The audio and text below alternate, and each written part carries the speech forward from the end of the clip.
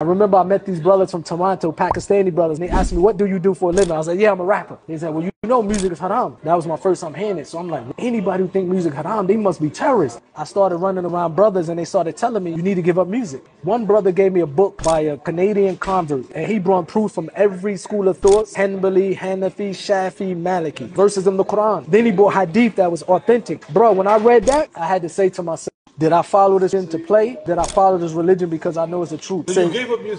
I said, now I'm gonna stop doing music with cuss word. I'm not gonna be in the Outlawz anymore. I Like will Will see- Smith music. Nah, it was still gangster, but it was just it was just like I blow your head off in a friendly old manner. It a lot. Now Johnny J is one of the biggest producers. He produced some of the biggest hits you can ever think of. I signed a record deal with him. Now I'm realized music is haram, but I'm already in a contract. I don't have the 250,000 to give back to him. Every day in Saju, I begged Allah to get me out of the music industry. I would say about a year later, after praying every day, I get a phone call from my lawyer. He said Johnny J sent the contract. He released you from the contract. You don't have to pay a penny back. A free man. And after that, I never turned back to the music. Alhamdulillah.